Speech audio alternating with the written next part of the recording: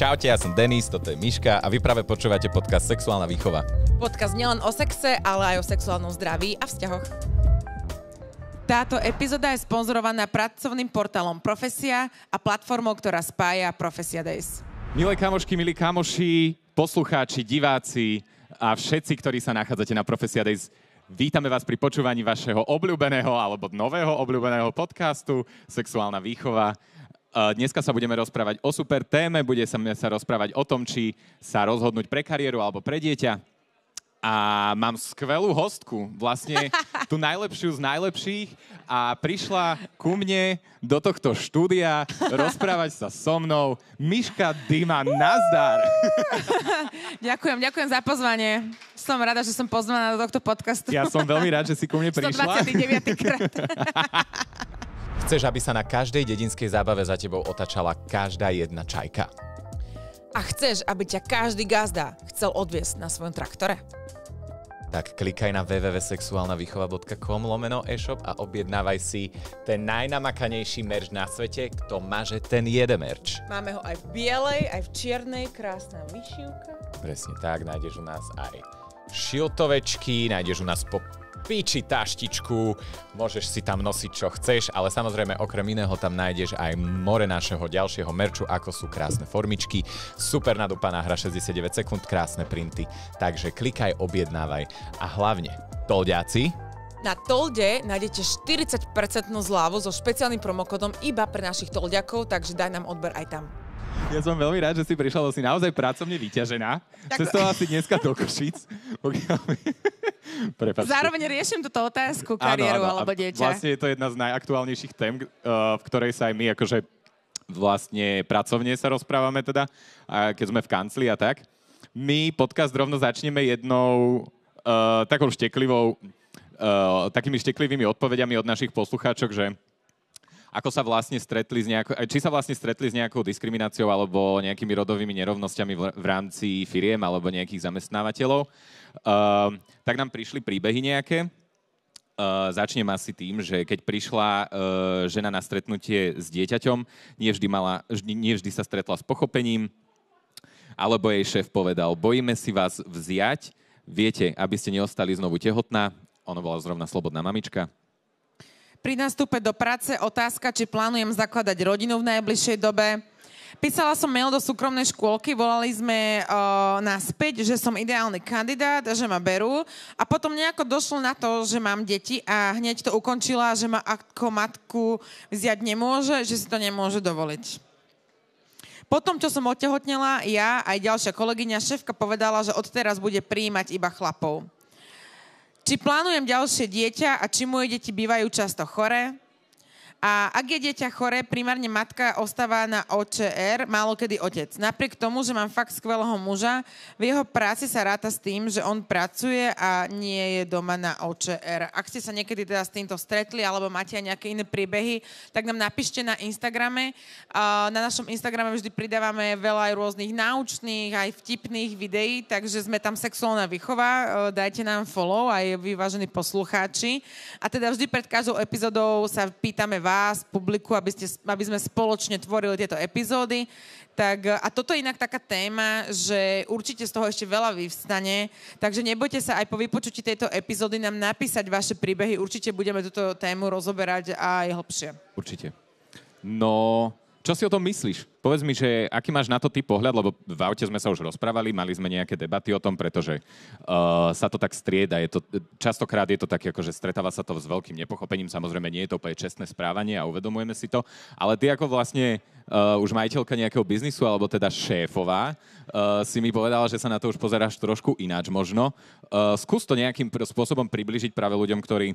Uh, presne akože odsudzujú toto správanie, ktoré je samozrejme odsudzenia hodné, odsudenia hodné, ale možno vám približíme práve tú druhú stranu tej mince.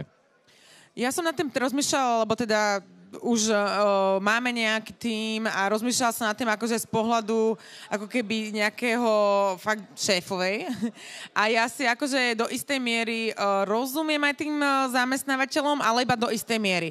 Tie predsudky také, že či dieťa býva často choré a či otehotnete znova a podobné takéto veci, to absolútne nie je na mieste. Určite nie je za mňa na mieste ani pýtať sa na pohovore, kedy plánuje žena dieťa. To akože rezolutne nie. Ale na druhej strane rozumiem, že je veľká záťaž pre zamestnanca, možno, že po finančnej stránke, nejaké personálnej, keď žena otehotne, ale to nie je úplne chyba možno, že toho zamestnávateľa, ale skôr celkovo chyba štátu, ako toto je nastavené a že nie sú tie podmienky vytvorené ani pre tých zamestnávateľov, ani vlastne pre tie ženy k tým uh, predsudkom uh, to môže byť vlastne, je to celkom taký systematický problém. Myslím si, že ešte sme ako spoločnosť nedospeli do stavu, kedy uh, sme absolútne pripravení na to, že muži budú chodiť výhradne na rodičovskú dovolenku, ale uh, už máme nejaké štatistiky, ktoré hovoria opak a narastli práve tie čísla o celkom pekné uh, počty. To si povieme trošku neskôr. Ďalej sme sa pýtali publika, uh, že či sa podľa nich dá zlúčiť biznis a materstvo. Kto si tu myslí, že sa dá zlúčiť biznis a materstvo? Kľudne zdvihnite ruku. Nice. Jednu mám, druhú mám, tretiu mám. OK, OK. A kto si myslí teda, že nie? No, dobre. to mi tu nevychádza nejako v rámci toho. vôbec? to mi nevychádza v nejakom tomto, uh, v tomto publiku, ale v poriadku. U nás to teda bolo, že 76% uh, si myslí, že dokáže sa zlúčiť biznis a materstvo, 8% si myslí, že sa nedokáže a 16% nevie povedať. Možno vy, ktorí ste nezvihli ruku, patríte medzi tých 16%. Chápem. Jasné, jasné, rozumiem. Podľa mňa táto otázka je aj tak ale položená, že či to myslíme ako biznis, alebo to myslíme ako prácu. Lebo myslím, dúfam teda v to, hej, na, v to sa spolieham, že keď mám vlastný biznis, je to viac zlučiteľné s materstvom, ako ak som niekde zamestnaná, ja neviem, od 9. do 5. Asi aj záleží, že v akom štádiu sa ten biznis uh, práve Áno. nachádza, určite. Hej, akože startupy a toto je to asi Tam... ešte ťažké a preto ešte dieťa nemám, tak, lebo tak. sme momentálne v takéto situácii, ale ja snažím sa pracovať na tom, aby ten biznis bol samostatný bezo mňa a viem, že kým sa toto neudeje, tak ja nemôžem mať dieťa. Mm-hmm. V rámci tej práce, eh, keď sa na to nepozeráme ako na biznis, pretože nie eh, všetci v tejto republike majú vlastný biznis alebo ho plánujú vôbec niekedy zakladať, eh, sme sa pýtali teda mamičiek, že aký bol návrat vlastne do práce od, po tejto rodičovskej alebo materskej dovolenke. Takže, citujem. V pohode, kolektív sa na mňa tešil, musela som sa, musela som sa toho veľa doučiť ťažký hlavne zosúľadiť moje aj manželovo zamestnanie, lebo dieťa nezobrali do materskej škôlky kvôli kapacite. Masaker, cave syndrom, jak hovado. Uh, cave syndrom, ak niekto neviete, je to vlastne syndrom um, alebo taký pocit, že keď sa niekam vrátite po dlhej dobe, máte pocit, že tam nepatríte a že vlastne nič neviete a že uh, sa tam, uh, že vás prevádzajú nejaké negatívne pocity. Takže ak s týmto syndromom bojujete, alebo práve s imposter syndromom, ktorý môže prísť taktiež po nejakom, nejakej dlhšej pauze z práce. Uh, určite uh, šupnite, alebo juknite, alebo pozrite na web k kde nám platí uh, promokód sexuálna výchova 10 alebo sexoška 10 na 10 eurovú zľavu na prvé sedenie. My teda na tú terapiu chodíme, teda Miška konkrétne chodí aktívne. Ja som sa aj vzdal, ale je to super. Myslíme si, že vám to veľmi môže pomôcť presne s takýmito problémami, pretože častokrát sa tieto problémy nedajú úplne navigovať nevieme ako z nich von, aj syndrom vyhoretia a podobne, takže odporúčame, odporúčame. Ďalšie otázky sú tu, že vôbec, odpovede vôbec som si nedôverovala, aj keď som bola doma iba 1,5 roka. Dôležitá je podpora o, partnera, čakala ma hneď výpoveď. Neodišla som z práce, robila som ešte aj v pôrodnici, dá sa to zlúčiť um, platovo som ostala ešte nižšie ako pred materskou. Prišlo nám toho veľa. Prišlo nám naozaj, niek- je to podľa mňa veľmi, veľmi individuálne. Uh, niekto to je v pohode, niekto sa teší do práce, niekto to naozaj nevie sklbiť, niekto má Veľmi závisí od odvetvie. Ja to akože z vlastnej skúsenosti, keďže pracujem, pre, a predtým som aj pracovala prevažne v marketingu a marketing sa tak extrémne rýchlo vyvíja, že tam byť 3 roky mimo, tak to som úplne mimo. Veď to na Instagram sa mení tak, že dva týždne, keď niečo nesledujem, tak je tam milión nových funkcií. Takže závisí asi aj určite, že v akej práci, presne aký partner, ako to berú zamestnávateľia, možno, že aj aká veľká je tá firma. Hm. Možno v tých veľkých je už tá zastúpenosť možno, že lepšia, možno lepšie majú aj nejaké pripravené podmienky pre ženy, ktoré sa vrácajú späť o, po rodičovskej dovolenke na nejaké začlenenie, možno tam majú nejaké mentoringy alebo niečo. Určite. Takže je to asi veľmi, veľmi individuálne, lebo prišli nám naozaj aj pozitívne, aj negatívne odpovede. Správne. Ako Miška povedala, to odvetvie je presne, že v korporátoch alebo v nejakých väčších firmách mám väčšiu možnosť toho kombinovaného home office alebo nejakého polovičného alebo čiastočného pracovného úvesku, kdežto ľudia pracujúci možno na linkách výrobných alebo tak v nejakých trojsmenných pracovných pomeroch nemajú úplne na výber a tiež je to tam trošku náročné, takže môže to byť problém. My sa teda pozrieme, čo je to materská dovolenka, pretože po ceste sme zistili, že je rozdiel medzi materskou a rodičovskou dajte komentár, kto to vedel.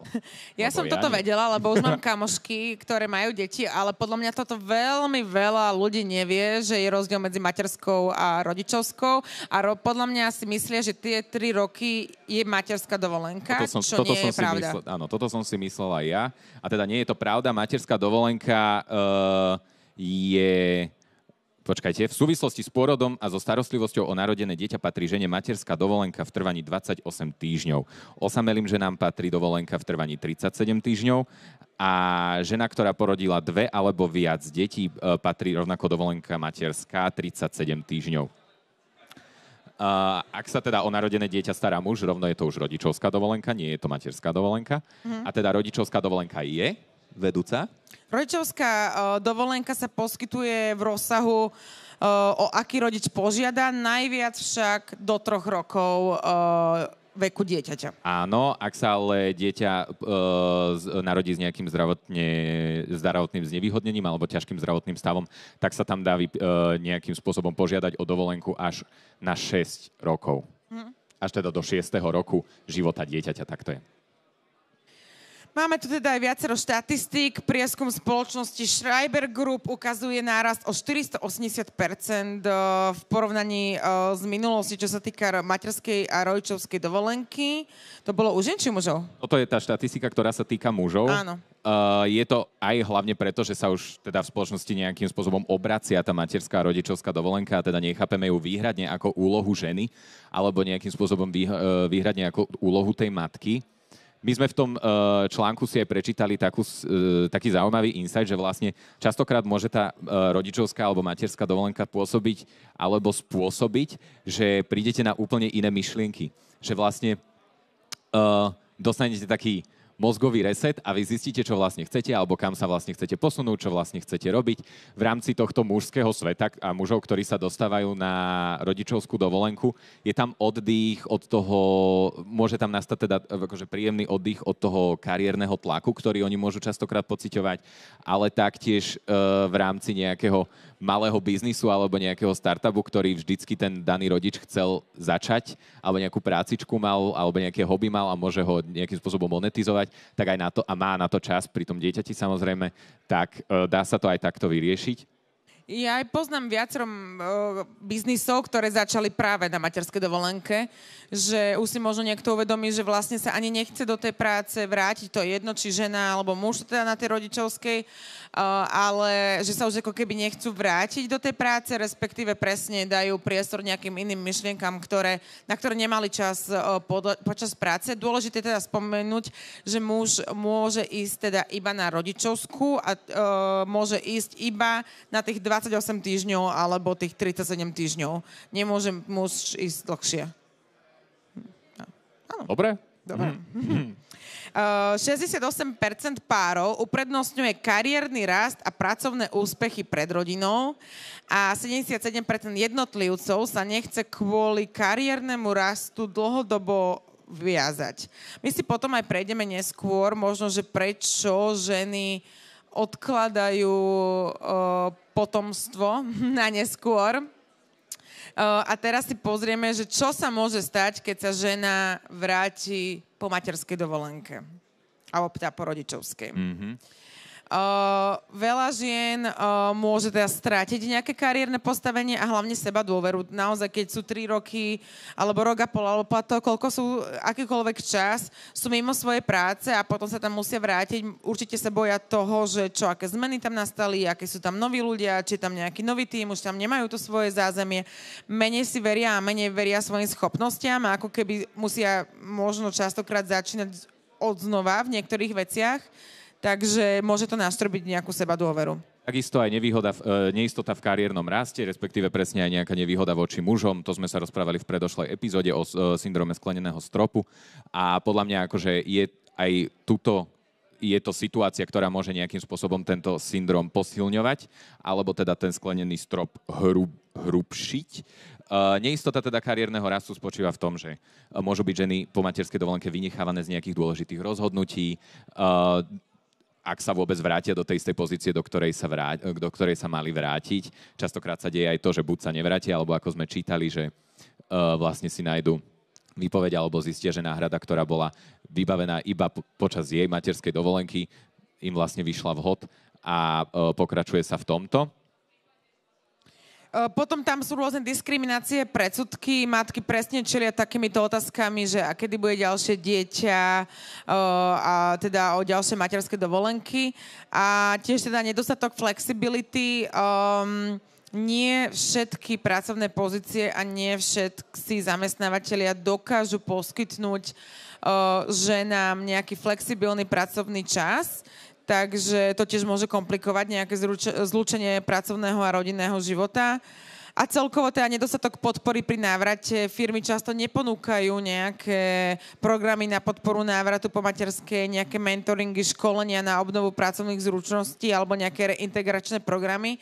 Takže o, akože v prvom rade celá táto téma je už problém, že sa o tom musíme rozprávať. Hej, že že o, už to je akože také, že veď o, všetci nás tu tlačia a politici a neviem čo, že musíme rodiť a mať deti a žena je spôsob narodenie a tak, tieto všetky veci, ktoré kolujú spoločnosťou, ale potom vlastne vôbec nie sú vytvorené podmienky na to, aby otehotnela, porodila, nemá kde bývať, nemá dostatok peňazí, nemá sa kde vrátiť, že na všetkých ako keby častiach celého predtehotenstva, počas tehotenstva a po tehotenstve nič na to nie je prispôsobené, ale máte všetci deti a, a pozerajú sa na, cez prsty na ženu, ktorá povie, že ja deti nechcem vôbec, alebo ich chcem neskôr a Ježiš Maria, uprednostňuješ kariéru. No asi áno, však z čoho mám to dieťa uživiť? Presne tak, no.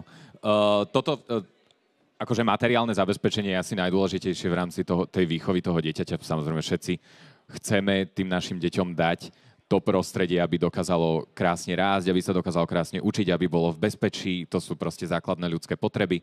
A presne aj pre, i toto je jeden z dôvodov, e, prečo stúpla prečo stúpol vlastne vek, kedy sa ženy stávajú matkami a v Európskej únii je to teda 29 aj niečo roka, 29, hneď vám poviem presne, 29,4 Uh, ja, moja mamina mala dieťa ke, prvé v 21 Moja 17. Že a, a starka mala samozrejme ešte skôr, že extrémne sa to posunulo len o generáciu vlastne.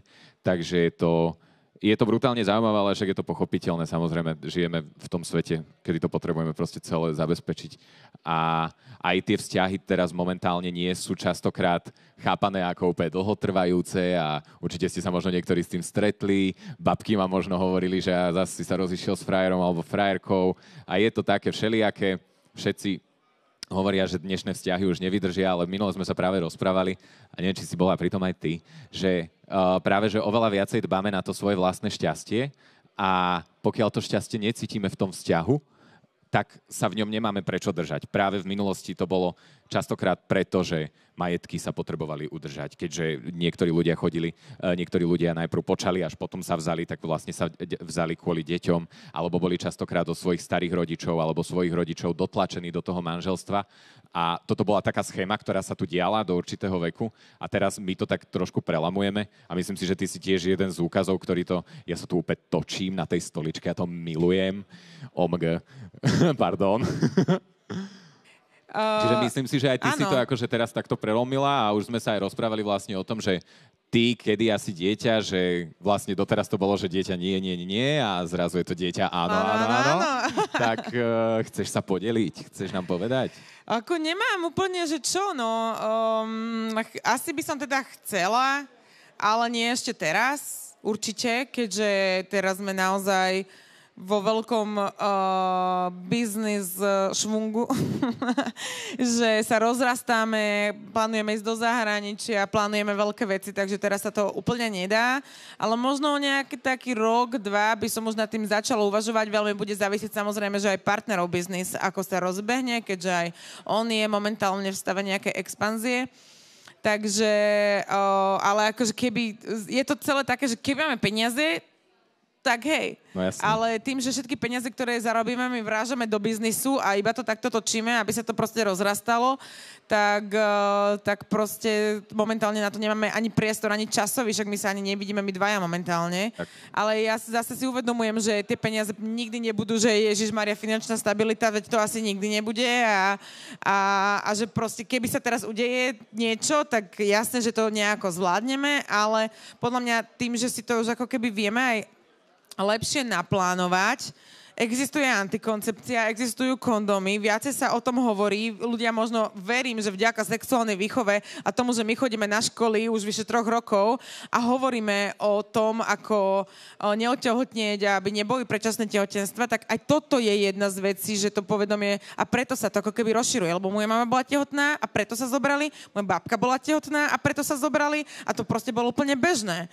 A, a možno by ten vzťah inak vôbec ani nevydržal a neboli by vôbec ani spolu, a len proste už boli v manželstve a rozvod neprichádzal do úvahy, lebo však to bola hamba na dedine, tak e, ak, ak sa aj niečo dialo, čo na jednu stranu môže byť fajn, že prekonali možno, že niečo, čo by dnešné vzťahy už pustili. Ťažko povedať, je to také ako polemizačné, ale teda jednoznačne sa to celé určite posúva. Samozrejme.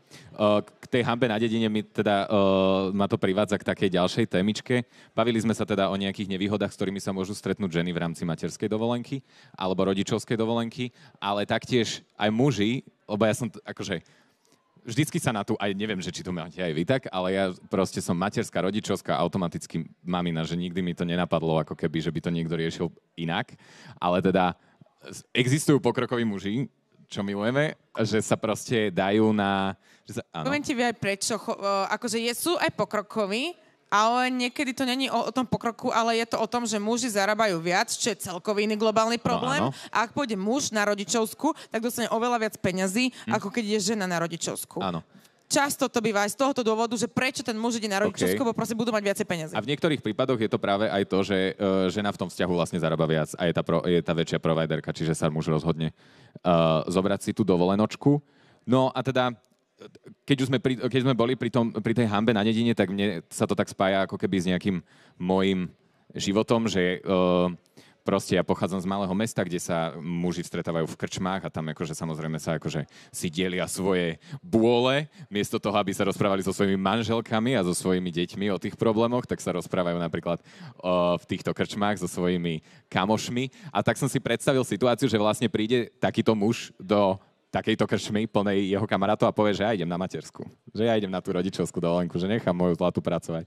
Že som si tak predstavila, že teda môže sa to stretnúť určite s nejakým posmechom, výsmechom, nepochopením a nie len teda akože takto v dedine, ale samozrejme aj v práci a v kolektíve to môže byť veľké prekvapenie pre strašne veľa kolegov. Aj ostatné, uh, ostatné situácie, ktoré tam nastávajú, sú veľmi podobné ako pri tých, uh, pri tých ženách, čiže Sú tam proste také stereotypy, že ak pôjde muž na túto rodičovskú, tak sa na neho tak pozerajú, že a veď to je o, ženská úloha a sú tam teda nejaké také predsudky, alebo teda možno si myslia potom o nich, že nechcú tak kariérne rásť, alebo nie sú takí ambiciózni a preto na rodičovskú. Takže nie je to len teda, čo sa týka tých žien, ale aj muži uh, môže sa stať teda, že keď pôjdu na rodičovskú, tak tiež uh, tiež to nebudú mať úplne, úplne jednoduché.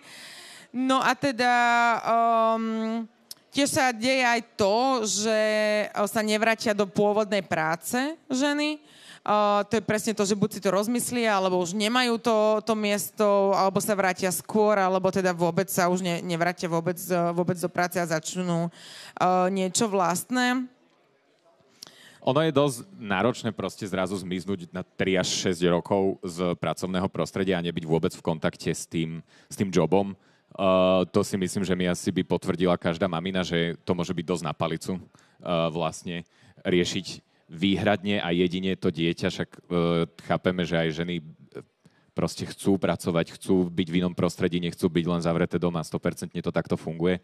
A tie ženy, ktoré to tak nemajú, je to úplne v poriadku, nikoho nesúdim, je to úplne chill, neboj sa, mhm. dobrá si, aj tak. Ale že máme proste aj ženy, ktoré sú dričky a radi by sa proste vracali do práce. A my sme vlastne oslovili uh, Pelikán, ktorý môžete poznať z našej predošlej epizódy Profesia Days, uh, pretože uh, majiteľka CEO Pelikánu, Táňa, a.k.a. naša investorka z Jamy Levovej, ak ste nevideli do your homework, uh, urobte si domáce úlohy a pozrite si Jamu Levovu. Dostali sme investíciu.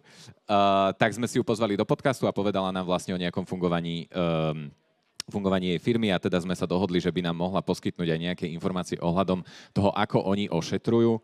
Presne to zmiznutie e, z toho pracovného prostredia pre ženy alebo aj pre mužov, teda v tej materskej alebo rodičovskej dovolenke. Majú teda aktuálne 22 zamestnancov na materskej a rodičovskej dovolenke iba ženy, z toho 4 mamičky e, pracujú aj počas e, materskej a rodičovskej dovolenke e, na dohodu. V tomto roku sa im do práce vrátilo 5 kolegyň po materskej a mali teda už aj mužov, kolegov, ktorí využili možnosť byť s dieťaťom doma. Tak, tak. Ďalšími spôsobmi, ako, je, ako integrovať tých ľudí, aby nevypadli z toho pracovného prostredia, sú možno nejaké školenia alebo nejaké mimo, uh, mimo pracovné aktivity, ktoré môžete ako keby tomu človeku poskytnúť. Uh, to sú len také akože heads up pre ľudí, ktorí tu možno majú biznis alebo sú v nejakých vedúcich pozíciách, ktorí, by, ktorí rozmýšľajú na tú otázku alebo sa stretávajú s touto dilemou, že proste uh, nie sú spokojní s tým výkonom a tak ďalej. Ten výkon sa dá krásne podporiť, keď vytvoríte to prostredie na to, aby sa ten výkon mohol podávať. To znamená, že uh, keď ja poskytnem svojmu zamestnancovi alebo zamestnankyni ten priestor na to, aby mohla nejakým spôsobom pokračovať vo svojej pracovnej činnosti, tak to bude, ona bude len rada a bude podávať uh, dobrý výkon a čo sme zistili z uh, štatistík, tak bude dokonca podávať ešte lepší výkon, ako by možno podávala v 9 to 5 jobe alebo teda v nejakej určitej pracovnej alebo teda v plnom pracovnom úvesku. Aj v Pelikáne teda sa snažia, ak to dovoluje teda agenda jednotlivé pracovné pozície, dávať nejaký skratený pracovný úvezok, ak má o to teda žena záujem. A osvedčilo sa im, že skratený úvezok často znamená vyššiu e- efektivitu zo straty, strany zamestnancov. Matky, ktoré majú obmedzený čas na prácu, sa dokážu sústrediť a zvládnu za tých pár hodín urobiť množstvo úloh.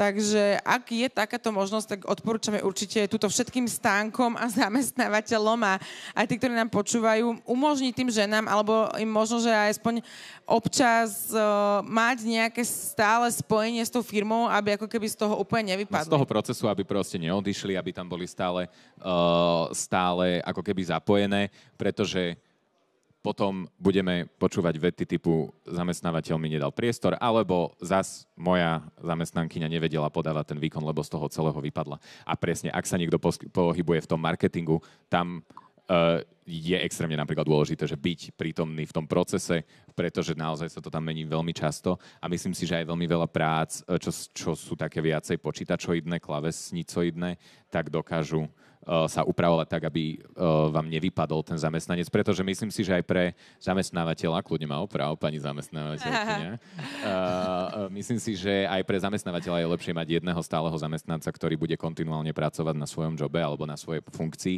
miesto toho, aby musel nejakým spôsobom troch, štyroch za pol rok zaučať, pretože sa tam buď neuchytí, alebo mu to dlho trvá, alebo nepodáva taký výkon, ako podával. Takže čerišujte si to všetko. Čo je zaujímavé je, že v troch členských štátoch Európskej únie bol priemerný vek matky pri pôrode prvého dieťaťa viac ako 31 rokov. V Taliansku to je 31,3 roka, Španielsko 31,1 a Luxembursko 31,1. No, je to aj uh, jedným z ďalších dôvodov, prečo sa to materstvo posúva, je, je aj medicína. Už žijeme v dobe, kedy si ženy dokážu dať zmraziť vajíčka a prísť k tomu, alebo vrátiť sa k tomu materstvu oveľa neskôr, alebo vrátiť sa k tomu materstvu, keď už majú ten biznis postavený a keď už majú proste to pracovné uh, pozadie nejaké kvalitné a stabilné. Presne tak ako ty v našej epizóde z Ginker, povedz viac. Išla som povedať, že ak vás zaujíma uh, téma zmrazovania vajíčok, prečo, ako to prebieha, koľko to stojí, tak uh, nájdete to aj s videom na YouTube, kde nájdete celý priebeh môjho uh, tohto procesu, lebo som to absolvovala, ako som si pichala inekcie, uh, koľko som mala pupakov na tvári z toho a podobné všetky veci, celý tento priebeh. Takže je, je to jeden z dôvodov. Ale nie je to len o ženách, samozrejme aj spermie sa dajú zmraziť a o, musím povedať, že ten proces je oveľa jednoduchší a oveľa príjemnejší. Nie je to taký silný zákrok ako pre ženu. A taktiež aj muži si potrebujú možnosť nejakým spôsobom postaviť svoj vlastný biznis alebo nejaké to zázemie, aby dokázali provajdovať tej rodine to, čo potrebujú. Uh, takže aj takýmto spôsobom sa to dá. Uh-huh. Takže t- faktory, kvôli ktorým ženy odkladajú materstvo, uh, určite aj to, že máme väčší prístup k vzdelaniu a môžeme vôbec pracovať. To teda nebolo niekedy úplne bežné, že ženy pracujú a že môžu pracovať toľko a dosahovať vysoké manažerské pozície tým, že teraz už je to možné, tak práve preto ženy častokrát uprednostňujú kariéru pred eh, prácou.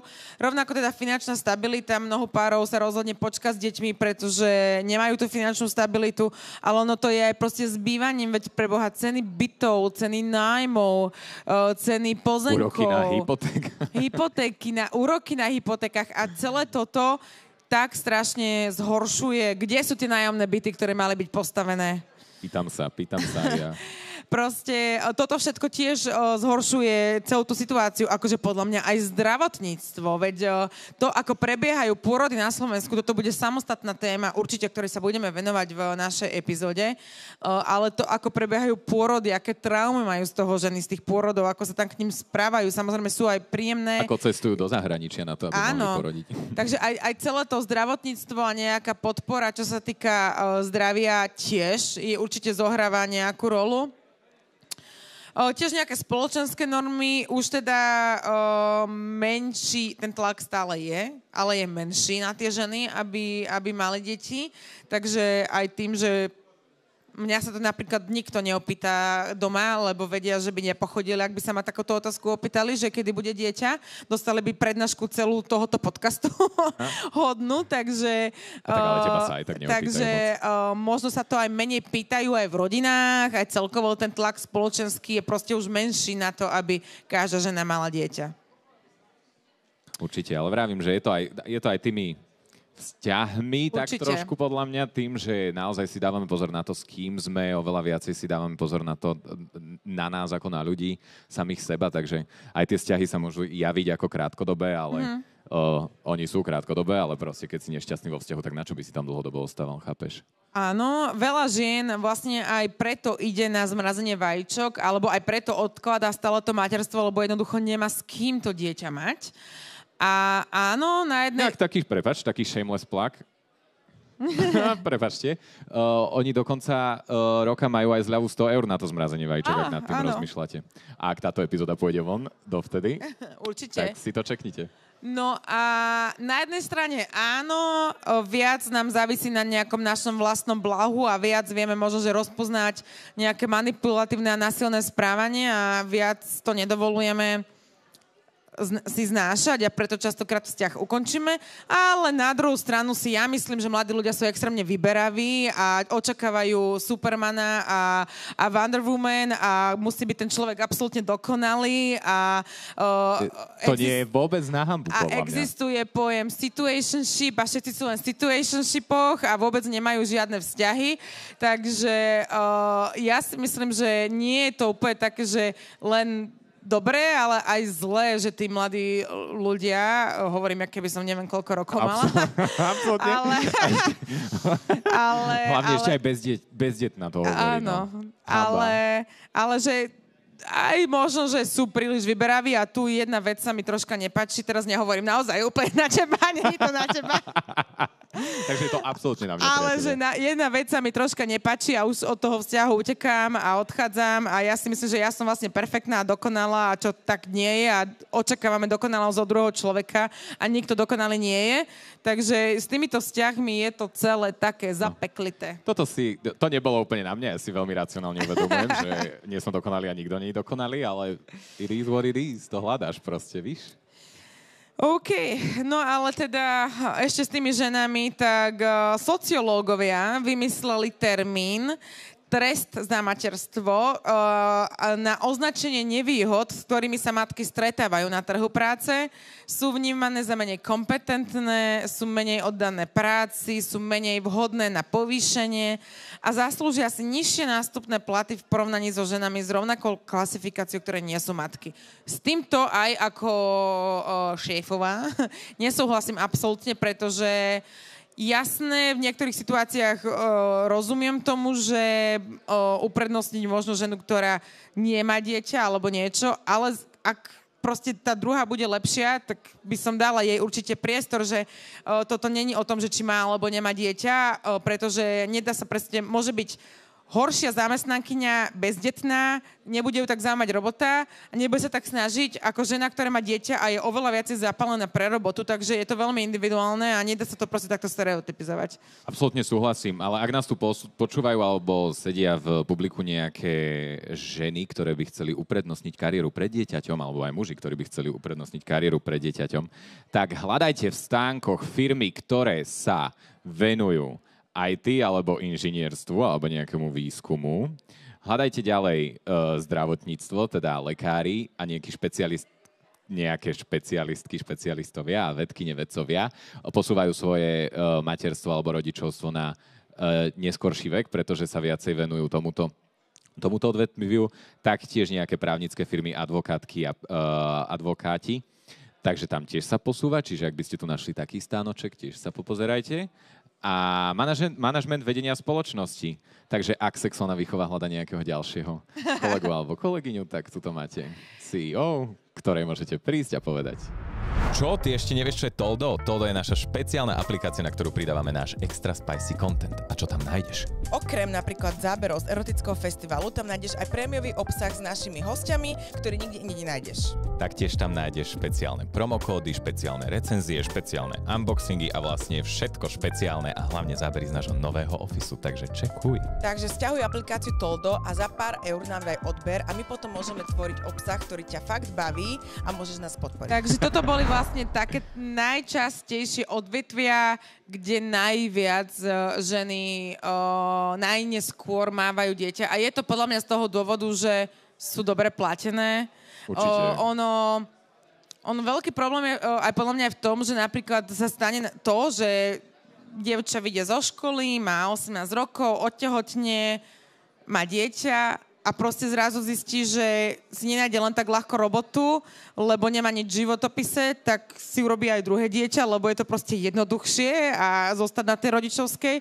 A potom má 25 a, a reálne nemá v životopise nič a je veľmi ťažké sa zač- začleniť do práce. Určite. Takže ono je veľmi veľa tých situácií, prečo, prečo možno niekto uprednostňuje alebo neuprednostňuje o, mať to dieťa. Tak, tak.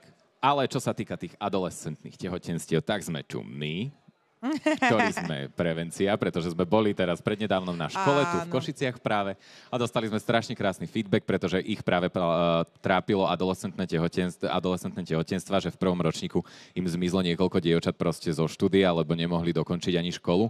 A tento rok sme prišli a povedali nám, že to fungovalo táto prevencia, lebo uh, nikoho vlastne ne, nemohli vyradiť zo štúdia, pretože nemali žiadnu študentku tehotnú. Čo ma veľmi Vrátili sme teší. sa vlastne po roku, že boli sme tam aj minulý rok, kde sme dali prednášku a vrátili sme sa po roku a boli nám teda veľmi vďační, že, že naozaj to má zmysel a že tentokrát nemajú žiadne tehotné študentky, takže uh, my uh, reálne posúvame uh, priemer na Slovensku. Presne tak. Prečo, prečo ženy majú neskôr deti? Pretože vzdelávame o rôznych veciach, uh, ako sú kvapočky, lásky, pre ejakulát, uh, aby sa chránili, aby počkali so sexom a všetky takéto veci. Takže určite aj teda vzdelanie je veľmi dôležité. Presne tak. A my sme sa dostali celkom do konca, podľa mňa. Áno, už, áno. Už máme dve minútky iba.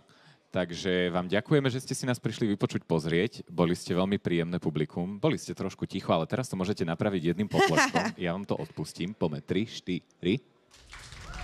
Táto epizóda je sponzorovaná pracovným portálom Profesia.sk a platformou, ktorá spája Profesia Days. Ďakujeme, že ste nás počúvali. Nezabudnite nám hodiť follow na Instagrame. Dajte nám odber aj na YouTube, Tolde a čekujte náš web.